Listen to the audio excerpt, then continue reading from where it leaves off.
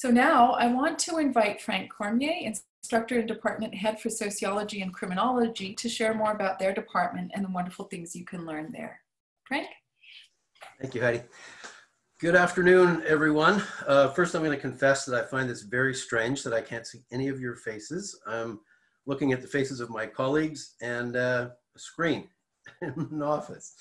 Um, so I'm here to talk a little bit. Sorry, first, I'm Frank Cormier. I'm the head of the Department of Sociology and Criminology.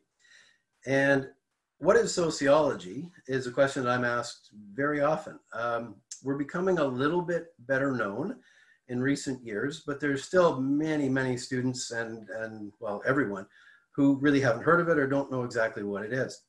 And one question I've never heard um, is, what is psychology? Tell me what this psychology is all about. Most people, I think, seem to have a pretty good idea of what psychology is. So I often use that um, to try to compare and contrast a little bit and to try to explain better what, what sociology is. So sociology, from the Latin roots of the word, it's the study of society. So it's a scientific, social scientific approach to studying society and the groups of people that make up society. Now, we are concerned with studying human behavior, human social behavior. Um, many of you might know that psychologists are also uh, concerned with, with human social behavior. The main difference between the two is sort of the, the focus that we take. So whereas psychology takes more of an individual focus. Um, they look at individuals or, very small groups um, of people. Sociologists look at the larger groups of people in, in society, right up to entire, you know, the, the societies of entire nations, or even the, the global society, if we can say that there is such a thing. So I often summarize it by saying psychologists, when looking to explain human behavior, they look in here. They look in individual thought processes and brains and all kinds of things like that. Whereas sociologists, we look out, you can't see my hands, but out here. So what are the influences and the things that are coming from our environment, our social environment, that help to determine our behavior and what we do and where we end up in our lives. Um, so rather than an internal individual focus, we take an external group focus. Um, so when we think about our lives, we are rarely alone in the world. Um, and if we think about the ways we behave while we are alone versus how we behave with the different groups that we belong to, we can, we can see the, the social influences on us. Very few of us listen to what our brain says, uh, what it suggests we might do, what we want to do, what we would like to do, and always immediately follow that impulse. All those thoughts we have, those impulses, those psychological factors, are then mediated and filtered and constrained to a certain extent by our social environment.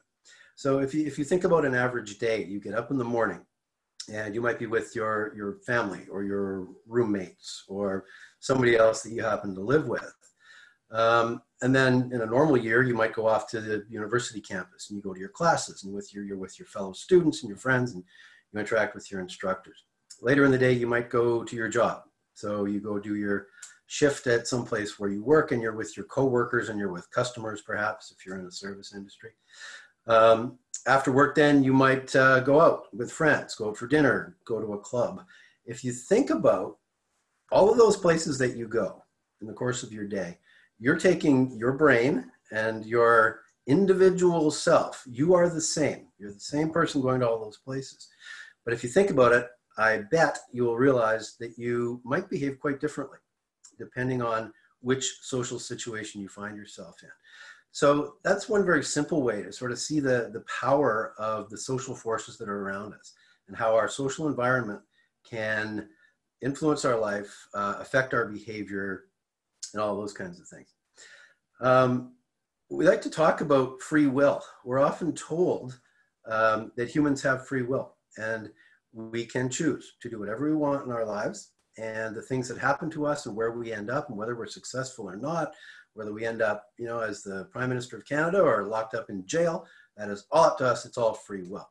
And we do have some amount of free will, but a sociologist will tell you that um, some might go so far as to say that free will is a, it's, um, it's a fallacy. It's not true that we have this, this free will that some people tell us we do. And while we do have some free will, we do have control over our lives to a certain extent. There are many, many powerful social forces that are acting upon us.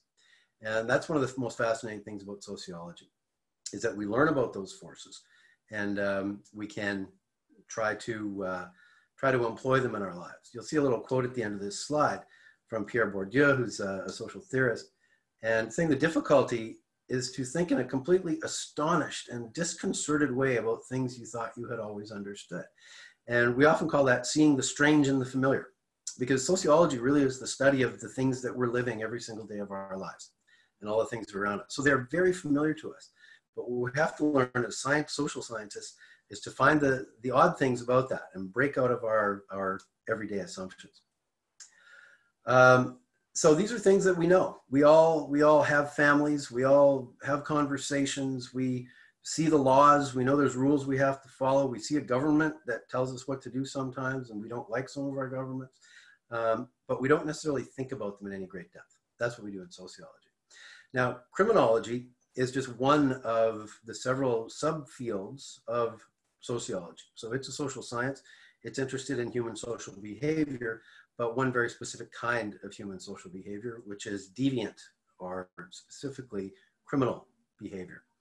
Um, and Edwin Sutherland, an American uh, criminologist working in the United States back in the, the 1940s, actually came up with what I think is one of the best definitions of what criminology is all about.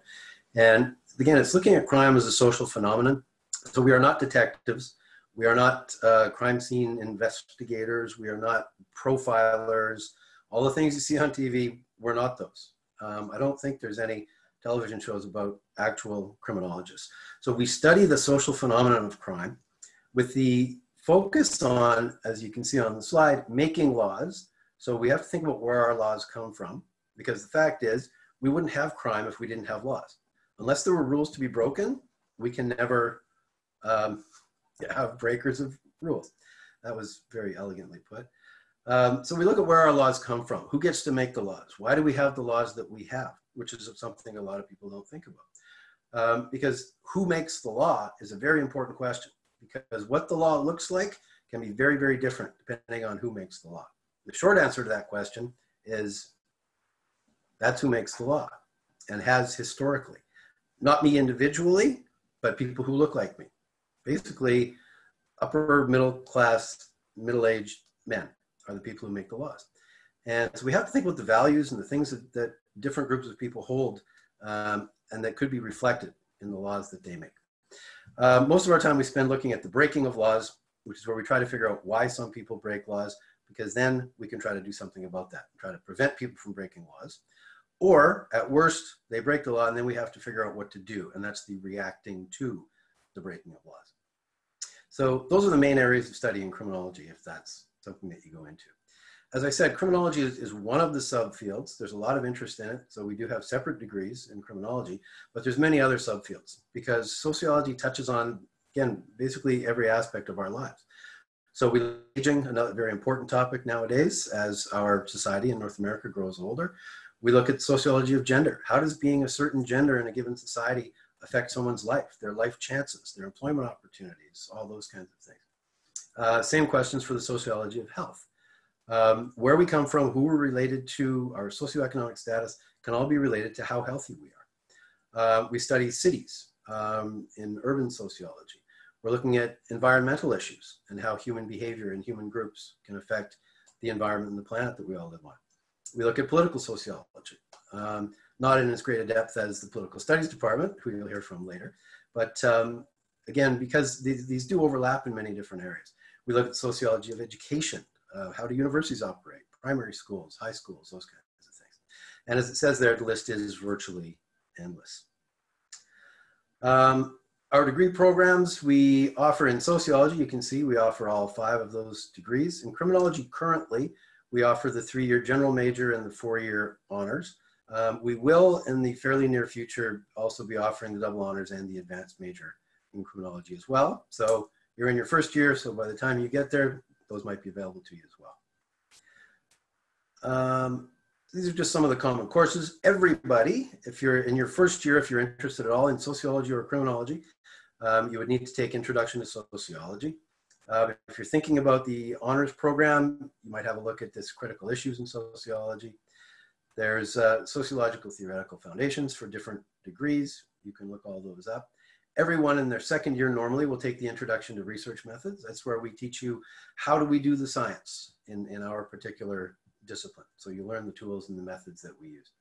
Then we have a course just called criminology, which is uh, a second year course, which is the introduction to criminology, which is required for the crim degree. And then criminal justice and corrections, also a second year course, which all um, criminology majors would take. You can see on the slide a, a, few of the interesting courses we offer. This is only a very small sample, sociology through film. We look at urban life, ethnic relations, religion, the body, media, mental disorders. Under criminology, there are also fascinating things that we look at. People who, who make careers out of being criminals. Um, criminal law and procedure, a lot of our students are very interested in that if they're thinking about going to law school after a, a bachelor's degree. We look at crime and criminology around the globe. We look at victims, um, the relationship of, of, women and crime and social justice and feminist criminology, policing, and of course the criminology research practicum, which is a course that I teach. And that's where we place uh, students out in agencies and they carry out research projects. That's uh, an upper level course. So keep that in mind as well. Um, we talked earlier about the, the universal skills that social sciences can offer, and I won't list all of those. I'm going to jump right to the end and talk about uh, a little bit about self-understanding. And self-understanding and social understanding is, is how I would, would characterize those things. And when you can see and identify and analyze and then understand all of the social forces that I talked about before that are influencing you and that can tend to push you and pull you in different directions. When you understand those, you can mitigate the negative effects and you can maximize the positive effects, which allows you to uh, reach your own ambition. I don't want to make this sound terribly selfish, but it can allow you to sort of use the society you live in to the best effect um, for the things that you want to do. At the same time, it also makes you a better citizen, someone who's better able to contribute to the overall society and to help. So we can help others and we can also help ourselves. And that's one of the most important things, I think, about what we call the sociological imagination, about looking at society in a, in a unique way. Um, one of the hardest students I have to answer is when students ask me what kind of a job can I get with a sociology or a criminology degree. And I wish there was just one. I wish there was one job that everybody, that's what you would go and, and do. Um, but there's not. And so that's the good news is that there's, there's virtually unlimited jobs where our graduates find themselves. Um, some go into law enforcement, some go into uh, mediation. Many end up working for various government departments, whether the provincial or the federal government, doing research, acting as policy analysts, providing services to clients.